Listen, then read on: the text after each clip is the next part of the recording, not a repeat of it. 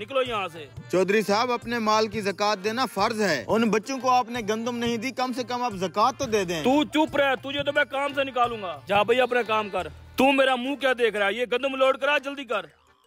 चौधरी साहब हमारी कोई ज़बरदस्ती नहीं है लेकिन जक़ात देना फ़र्ज़ होता है। हाँ हाँ पता है मुझे बड़े है तुम। हराम को और खड़ा खड़ा क्या देख रहा है? गंदम लोड करवा। शेख साहब वो पेमेंट कर देते। माल तो लोड होने दो पेमेंट भी दे देता हूँ। शेख साहब जब तक माल लोड होता है हम छाव में बैठते हैं। लेट्स गो हाँ गंदम लोड हो गई है। हो गई चौधरी साहब। ये देखिए चोई साहब खबर आ रही है कि इस बार हुकूमत किसान से गंदम नहीं खरीद रही और रेट भी गिरते गिरते बहुत कम हो गया है। बेचारा किसान पूरा साल अपनी जेब से फ़सलों पर पैसा लगाता रहा है और मेहनत भी खूब की है लेकिन अब हालात आपके सामने हैं।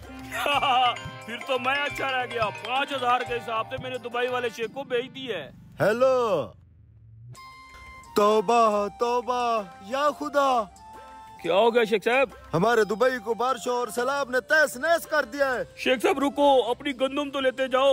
मैं क्या करूँगा? गंदम का दुबई पानी पानी हो गया है। शेख साहब शेख साहब मैं बर्बाद हो जाऊँगा लुट जाऊँगा। चौधरी साहब यही होता है जब हम अल्लाह के हुक्म के खिलाफ जाते हैं। मैंने कहा था जक़ात फ़र्ज़ है और ज़रूर देनी है। खर्चे इतने ज़्यादा है जक़ात भी देंगे तो पीछे हमें क्या बचेगा?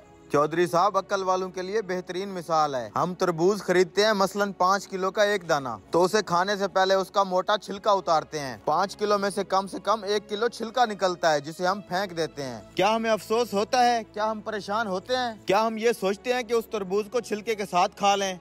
नहीं, बिल्कुल नहीं। यही हाल केले और माल्टे का है। हम खुशी से छिलका उतार के खाते हैं। हालाँकि हमने छिलके समेत खरीदा होता है, मगर छिलका फेंकते हुए तकलीफ़ नहीं होती। हम साबित मुर्गी खरीद कर उसकी बाल, खाल और पेट से अलाइश निकाल कर फेंक देते हैं। तब भी तकलीफ़ नहीं होती।